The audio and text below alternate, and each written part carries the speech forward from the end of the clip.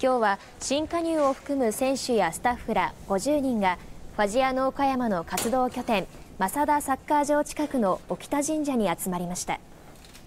玉串を奉納するなどの神事の後就任3年目の木山隆監督と年男の金山純喜選手がエマに意気込みをかけ新シーズンに向け決意を新たにしていました。